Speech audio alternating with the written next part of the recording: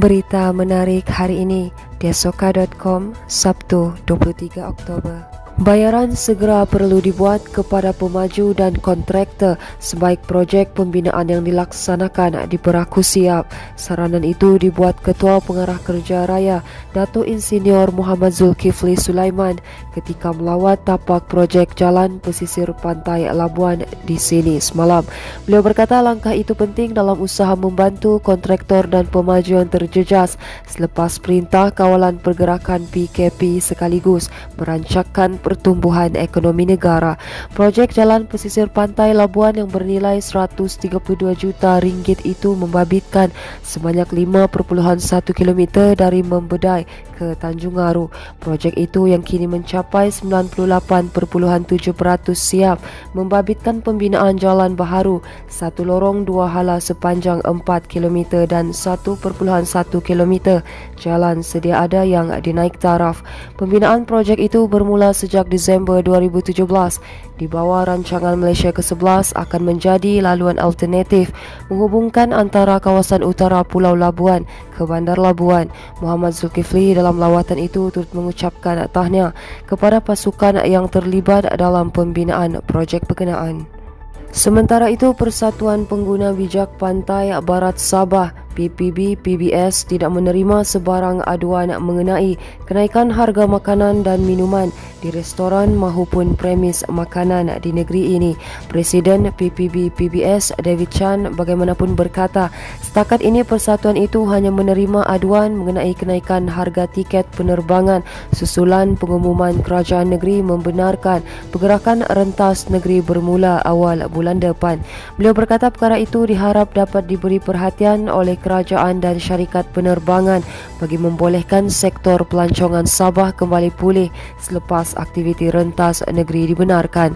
Katanya sepanjang tempoh dua tahun ini kehidupan rakyat sudah terlalu sukar, maka peniaga tidak harus mengambil kesempatan menaikkan harga barangan semata-mata ingin memulihkan perniagaan bagi mengelakkan peniaga terpaksa menaikkan harga makanan dan minuman. Katanya pemilik bangunan juga perlu memainkan peranan untuk tidak menaikkan kadar sewa bulanan. Tambah beliau jika diperhatikan banyak kedai yang ditutup selepas perintah kawalan pergerakan PKP kerana peniaga kecil tidak mampu bertahan dengan kadar bayaran sewa dan kos operasi yang tinggi. Berita seterusnya, keputusan pihak berkuasa membuka semula kawasan Taman Awam di sekitar Bandaraya bermula hari ini mendapat sambutan menggalakkan daripada warga Bandaraya ini terutama mereka yang menggemari aktiviti riadah. Tinjauan dia soka di pantai Tanjung Aru 1 mendapati pusat riadah berkenaan sudah mula dibanjiri pengunjung pelbagai peringkat usia seawal jam 6 pagi. Seorang pengunjung Siti Nur Ain Kamsani 34 berkata dia dan keluarga tiba di pantai Tanjung Aru seawal jam 7 pagi selepas teringin menikmati suasana pagi di kawasan berkenaan. Katanya perasaan awal cukup menggembirakan dan selepas sekian lama terkurung di rumah ekoran pandemik COVID-19 Seorang lagi pengunjung Ikman Asiran 25 berkata dia dan rakan teruja untuk santai di pantai berkenaan sambil bersiar-siar. Katanya pembukaan semula ini memberikan perasaan yang positif disebabkan orang awam boleh datang melaksanakan pelbagai aktiviti di sini sama ada bersama keluarga maupun rakan-rakan. Bagaimanapun Ikman berkata pematuhan prosedur operasi standard SOP haruslah sentiasa dipatuhi bagi mengelakkan kes positif COVID-19 di Sabah semakin meningkat. Sementara itu, Ketua Pasukan Menara Penyelamat Pantai Angkatan Pertahanan Awam APM Kota Kinabalu, Muhammad Azlan Shah minggu berkata pihaknya akan menjalankan pemantauan SOP dalam memastikan tiada kejadian tidak diingini berlaku di kawasan terbabit. Baiklah kita beralih kepada berita jenayah di mana sebuah bot nelayan Vietnam ditahan agensi penguatkuasaan maritim Malaysia selepas didapati menceroboh dan menjarah hasil laut negara dalam operasi di perairan daerah ini semalam. Dalam operasi jam 8 pagi itu, bot peronda maritim Malaysia Zon Kudat berjaya mengesan bot dalam keadaan mencurigakan ketika sedang menjalankan operasi Ops Pluto Timur di perairan berkenaan. Pengarah Zon Maritim Kudat, Komander Maritim Tim Bun Chin Chow berkata, berdasarkan struktur fizikal pasukan operasi mengesyaki, bot terbabit adalah bot nelayan asing Vietnam dan terus melakukan pemintasan untuk pemeriksaan. Katanya bot terbabit ditahan pada jarak 7 batu nautika timur laut dari Pulau Tiga Bupitas dan menahan 7 kru termasuk Tekong, warga Vietnam lingkungan 35 hingga 50 tahun. Hasil pemeriksaan pasukan operasi kemudiannya merampas 3,000 liter bekalan diesel, hasil gamat serta peralatan menangguk gamat.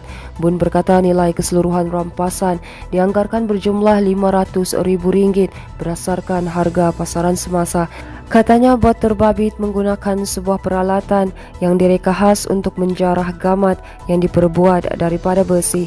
Katanya jika sabit kesalahan, tekong boleh dikenakan denda sebanyak 6 juta ringgit manakala bagi kru atau awak-awak pula sebanyak 600 ribu ringgit setiap seorang serta bot yang disita boleh dilucut hak. Baiklah, ini merupakan berita terakhir dari kami di mana seorang lelaki ditemui meninggal dunia di kawasan Pondok Perhentian Bas Jalan Utara Hilltop Tawau selepas dipercayai beriadah dengan berbasikal kelmarin. Mayat lelaki berusia 58 tahun itu dijumpai jam 4.25 petang oleh orang awam sebelum bertindak menghubungi pihak polis. Ketua Polis Daerah Tawau, Assistant Commissioner Peter Umbuas berkata, sebaik menerima panggilan kecemasan itu sepasukan polis bergegas ke lokasi kejadian untuk pemeriksaan. Katanya sebaik tiba mangsa lelaki ditemui dalam keadaan tidak sedarkan diri dan disahkan meninggal dunia oleh pegawai perubatan yang turut hadir di tempat kejadian. Siasatan juga mendapati mangsa tidak mempunyai sejarah penyakit jantung dan mayatnya diserahkan kepada Kementerian Kesihatan Malaysia KKM dan Forensik Hospital Tawau untuk mengenal pasti punca kematian. Peter berkata bedah siasat akan dijalankan selepas keputusan ujian saringan COVID-19 diperoleh. Katanya setakat ini kes diklasifikasikan sebagai mati mengejut. Baiklah, itu sahaja yang dapat kami kongsikan setakat ini. Teruskan bersama kami untuk mendapatkan berita komprehensif hanya di desoka.com.